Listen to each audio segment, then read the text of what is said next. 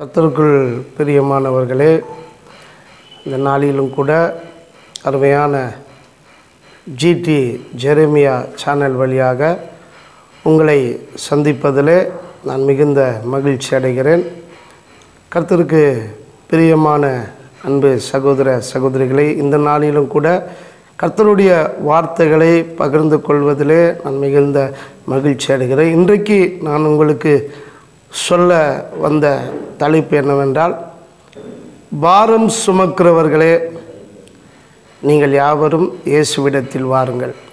அவர் உங்களுக்கு இலைப்பாறுதலை தருவார் என்று சொல்லும்படியாக நான் இன்றைக்கு உங்கள் மத்தியிலே கடந்து வந்திருக்கிறேன். மத்தி பதினோராம் அதிகாரம் இருபத்தி எட்டாவது வசனத்தில் ஆண்டவராகிய இயேசு கிறிஸ்து இந்த உலகத்தில் இருந்த தம்முடைய ஜனங்களை பார்த்து ஒரு காரியத்தை சொன்னார். வருத்தப்பட்டு பாரம் சுமக்கிறவர்களே நீங்கள் எல்லாரும் என்னிடத்தில் வாருங்கள். நான் உங்களுக்கு இலைப்பாறுதலை தருவேன் என்று. இந்த பூமியிலே பாரம் சுமக்கிறவர்களுக்கு இலைப்பாறுதல் என்கிற ஒரு காரியத்தை இயேசு கிறிஸ்துவை தவிர வேறு ஒருவராலும் கொடுக்க முடியாது என்பதை நாம் முதலாவது அறிந்து கொள்ள வேண்டும்.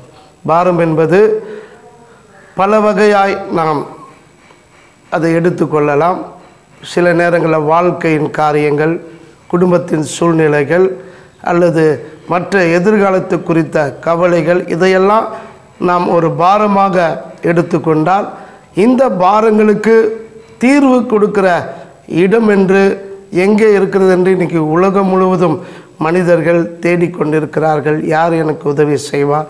யார் எனக்கு ஒரு வழியை காட்டுவார் என்று. ஆனால் இந்த பூமியில் ரெண்டாயிரம் ஆண்டுக்கு முன்பாக நமக்காக வந்த ஒரு தெய்வம் ஆண்டவராகிய இயேசு கிறிஸ்து. அவர் இந்த பூமியில் வந்து தம்முடைய ஜனங்களுக்காக தன்னுடைய ஆலோசனைகளாக இந்த வார்த்தையை கொடுத்தார். பாரம் என்று சொல்லும் பொழுது நமக்குள்ளாக பல வகையில் இன்றைக்கு நம்முடைய வாழ்க்கையின் சூழ்நிலைக்கு பல நெருக்கங்களை கொடுக்கிறதா இருக்குது. அந்த பாரம் சில வேளையில் நம்மளை தற்கொலைக்கு கூட கொண்டு போய் சேர்க்கிறது. அப்படியாக தான் இந்த உலகத்தில் என்னுடைய பாரத்தை யார் சுமப்பா? எனக்காக யார் வழக்காடுவா? எனக்காக யார் உதவி செய்வா? என்று ஏங்கி கொண்டிருக்கிற எத்தனையோ ஆயிரம் ஜனங்கள் மத்தியில் இன்றைக்கு உங்களுக்கு ஒரு ஆறுதலான வார்த்தையை நான் சொல்லுகிறேன். ஏசு கிறிஸ்துவின் வார்த்தை இன்றைக்கு உங்களை கடந்து வருகிறது. வருத்தப்பட்டு பாரம் சுமக்கிறவர்களே நீங்கள் எல்லாரும் என்னிடத்தில் வாருங்கள். ஆண்டவர் கொடுத்த இந்த அழைப்பு ஏதோ ஒரு குறிப்பிட்ட நபருக்காகவோ அல்லது ஒரு குறிப்பிட்ட சமுதாயத்துக்காகவோ அல்ல.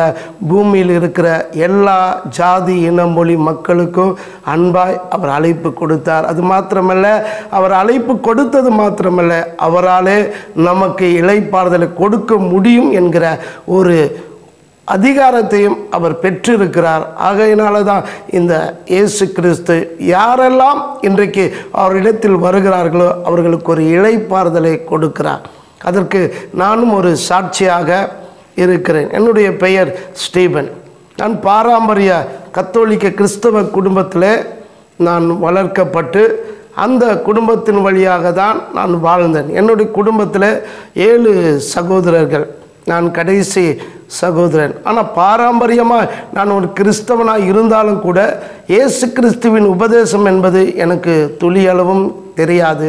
ஆகையினால் உலக பிரகாரம் நான் மனப்போன போக்கிலே வாழ்ந்து கொண்டு இருந்தேன் என்னதான் நான் வாழ்ந்து கொண்டு சம்பூர்ணமாக இருந்தாலும் ஒவ்வொரு இரவும் நான் எனக்குள்ளாக வியாகுலப்பட்ட நாட்கள் உண்டு. அந்த ஒரு காரியம் எனக்கு பாரமாக இருந்தது. எனக்குள் இருக்கிற பாவ கிரியைகள் எனக்குள் இருக்கிற தேவையில்லாத வாலிபத்துக்குரிய அந்த பல காரியங்கள் என்னை நெருக்கி கொண்டிருந்தது. ஆனால் எனக்கு அப்போல்லாம் தெரியாது இயேசு என் ஒரு ரட்சகர் இந்த பூமியில் நமக்காக இருக்கிறார் என்று. ஆனால் ஒரு நாள் என்னை தேடி ஆண்டவருடைய வார்த்தை வந்தது. இந்த இயேசு கிறிஸ்துவை நீ ஏற்றுக்கொண்டால் உன் வாழ்க்கையில் சமாதானமும் சந்தோஷமும் பாதுகாப்பு உனக்கு உண்டாகும். உன் பாரத்தையெல்லாம் அவர் ஏற்றுக்கொள்வார் என்று. எனக்கு முதலாவது வேதத்தில் எனக்கு சொல்லி கொடுத்த ஒரு வசனம்தான் எனக்கு நினைவுக்கு வருகிறது. சங்கீதம் ஐம்பத்தி ஐந்து இருபத்தி ரெண்டில் கர்த்தர் மேல் உன் பாரத்தை வைத்து விடு அவர் உன்னை ஆதரிப்பார். நீதிமானை ஒருபொழுதும் தள்ளாட ஓட்டார் என்கிற வார்த்தை. அந்த வார்த்தை என்னை தேடி வரும் பொழுது நான் ஒரு பாவி ஆயிற்றேன் பாவிகளை ரட்சிக்க இயேசு கிறிஸ்து இந்த உலகத்தில் வந்தார். ஆனால் இங்கே நீதிமானை தள்ளாட ஓட்டார் என்று சொல்லப்பட்ட அந்த வார்த்தைகள் எப்படி என் வாழ்க்கையில் சாத்தியமாகும் என்று நான் நினைத்த நாட்கள் உண்டு. நான் ஒரு பாவி. அப்போ இயேசு கிறிஸ்து நீதிமான்களுக்கு தான் தன்னுடைய உதவி செய்வார் என்று நினைத்தேன். ஆனால் பிறகுதான் எனக்கு தெரிந்து கொண்டேன். இயேசுவின் ரத்தம் என் சகல பாவங்களை நீக்கி என்னை கழுவி சுத்திகரித்தால் நானும் நீதிமான்களுடைய சங்கதியில் ஒரு அங்கத்தினராக இருக்கிறேன் என்பதை நான் அறிந்து கொண்டேன். ஆயிரத்தி தொள்ளாயிரத்தி தொண்ணூத்தோராம் ஆண்டு மே மாதம் பன்னிரெண்டாம் தேதி ஒரு ஆவிக்குரிய சபையில் ஒரு நண்பரோடு கூட நான் போனேன். அன்று மாலை ஆராதனையில் போதகர் ஒருவர் பேசிக்கொண்டு இருக்கும் பொழுது ஒரு வார்த்தை சொன்னார் வாலிபனே உன் வாலிப நாட்களை கர்த்தருக்காக நீ ஒப்புக்கொடு. வாலிபன் தன் வழிகளை எதனால் சுத்தப்படுத்துவான்? அவருடைய வசனத்தின்படி தன்னை காத்து கொள்ள வேண்டும் என்று சங்கீதம் நூற்றி பத்தொம்போது ஒன்பதாவது வசனத்திலிருந்து அவர் ஒரு காரியத்தை எடுத்து காட்டினார். அந்த வார்த்தை என்னை தேடி வந்து அது எனக்காகவே சொல்லப்பட்ட வார்த்தையாக நான் உணர்ந்தபடினால் அன்று இரவு என் ஆண்டவருக்காக என் வாழ்க்கையை நான் ஒப்பு கொடுத்தேன் ஆண்டவரே நான் ஒரு பாவி என்று அறிந்திருக்கிறேன். பாவிகளை ரட்சிக்க கிறிஸ்து இயேசு இந்த உலகத்தில் வந்தார் என்பதை நான் விசுவாசிக்கிறேன். நீர் உம்முடைய மகனார் உம்முடைய ஜனத்தில் என்னையும் ஒரு அங்கத்தினராக நீ சேர்ப்பீர் என்றால் உமக்காக நான் சாட்சியாய் வாழ்வேன். உமை குறித்து அநேகருக்கு நான் சாட்சி பகிர்வேன் என்று அன்றைக்கு என் வாழ்க்கையை அவரிடத்திலே ஒப்பு கொடுத்தேன் அந்த இரவே எனக்குள் இருந்த பாவ பாரம் என்னை விட்டு அகன்றதை நான் உணர்ந்தேன். ஒரு சந்தோஷத்தை அவர் எனக்கு கொடுத்ததை நான் உணர்ந்தேன். ஏசையா அறுபது இருபதில் சொல்லப்பட்ட வார்த்தையின் பிரகாரம் நித்திய மகிழ்ச்சி அவர்கள் தலையின் மேல் இருக்கும் சஞ்சலமும் தவிப்பும் அவர்களை விட்டு ஓடி போகும் என்கிற அந்த வார்த்தை என் வாழ்க்கையிலே வந்ததை நான் உணர்ந்தேன். அன்றைக்கு என் ஆண்டவராக இயேசுவை நான் ஏற்றுக்கொண்டேன் என்று சொல்வதை விட அவர் என்னை ஏற்றுக்கொண்டார் என்பதுதான். அது மிகவும் பொருத்தமானதாக இருக்கும். இயேசுவை ஏற்றுக்கொள்ள அவர் ஏதோ ஒரு அனாதை கடவுள் கிடையாது.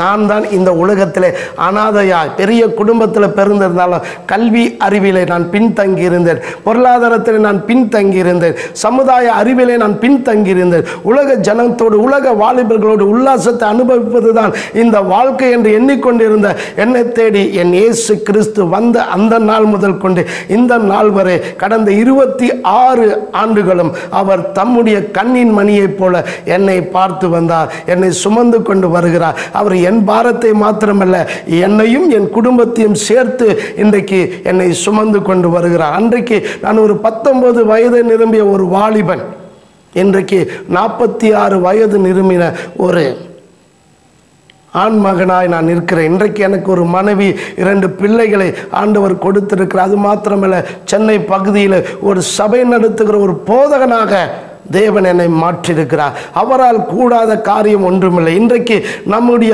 வாழ்க்கையில் எத்தனையோ நெருக்கங்கள் எத்தனையோ கஷ்டங்கள் எத்தனையோ பாரங்களை நாம் சுமந்து கொண்டு என்னால் ஒன்றும் செய்ய முடியவில்லை என்று நாம் தவிக்கிறோம். இயேசு சொன்னார் நீங்கள் ஒன்றுக்கும் கவலைப்படாமல் எல்லாவற்றையும் என்னிடத்தில் வைத்து விடுங்கள். நான் உங்களுக்கு இலைப்பாறுதலை கொடுப்பேன். இலைப்பாறுதல் என்று சொல்லும் பொழுது ஒரு அமைதியான வாழ்க்கை. இந்த உலகத்தில் அமைதி எங்குமே கிடையாது.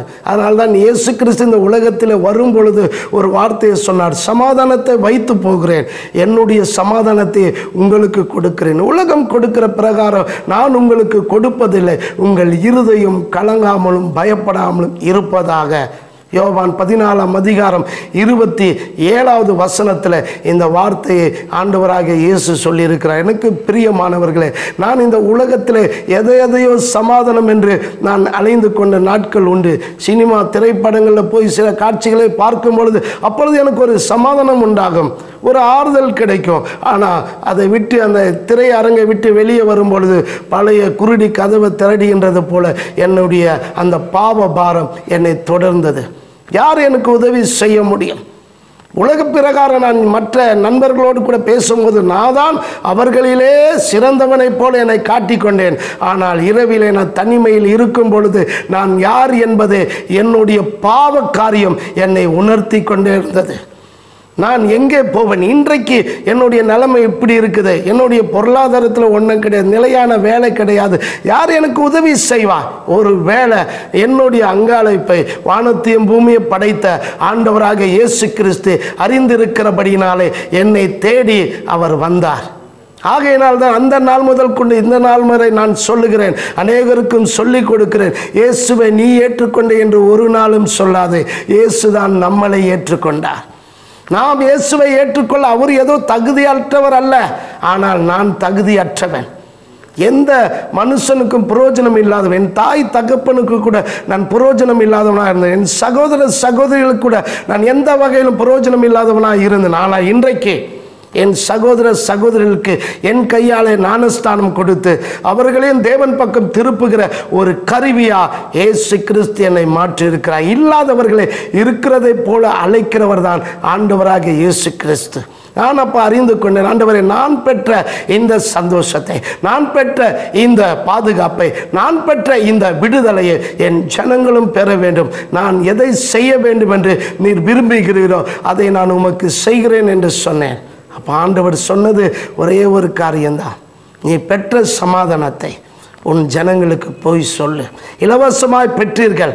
இலவசமாய் கொடுங்கள் என்று மத்தி பத்து எட்டிலே ஆண்டவர் சொன்ன அந்த வார்த்தைகளை முன்னிட்டு தான் இந்த நாள் வரையிலும் இந்த இயேசு கிறிஸ்து தான் நமக்கு சமாதானத்தை கொடுக்க முடியும். இந்த இயேசு கிறிஸ்து ஒருவரே நமக்கு சந்தோஷத்தை கொடுக்க முடியும். இந்த இயேசு கிறிஸ்து ஒருவரே நம்முடைய பாரங்களை சுமந்து நமக்கு இளைப்பாதலை கொடுக்க முடியும் என்று என்னுடைய வாழ்க்கையிலே நான் சாட்சி பகிர்ந்து கொண்டிருக்கிறேன் இந்த நாளிலும் கூட என் சத்தத்தை கேட்டுக்கொண்டிருக்கிற அருமையான சகோதரனே சகோதரி நீ யாராக இருந்தாலும் எந்த இனத்தை சார்ந்தவளாக இருந்தாலும் எந்த வழியில் போனாலும் பரவாயில்ல ஒரு விசை உன் பாரத்தை எல்லாம் ஆண்டவரே இந்த அன்பு சகோதரனுடைய பாரத்தை சுமந்தது உண்மை என்றால் என்னுடைய பாரத்தை நீங்கள் சுமந்து கொள்ளுங்க என்று சொல்லி ஏசப்பாவிடத்தில் இந்த நாளில் உன் வாழ்க்கையை ஒப்பு கொடுத்தால் உன் வாழ்க்கை மாறும் உன் குடும்பம் மாறும் உன் பிள்ளைகள் ஆசீர்வதிக்கப்படுவார்கள் உனக்கு உண்டான சகல காரியத்தையும் கர்த்தர் உனக்காக செய்வார். என் ஆண்டவராக இயேசு கிறிஸ்து நேற்றும் இன்றும் என்றும் மாறாதவராக இருக்கிறார் அவரிடத்தில் வருகிற ஒருவரையும் அவர் புறம்பே தள்ளாதவராக இருக்கிறார் என் சத்தத்தை கேட்டுக்கொண்டு இருக்கிற அருமையான சகோதரனே சகோதரி யாராக இருந்தாலும் நீ இருக்கிற இடத்துல உன் உள்ளத்தில் இயேசுவே வாரும்.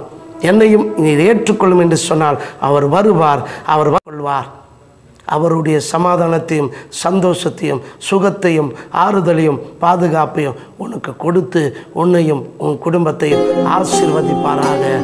ஆமையும்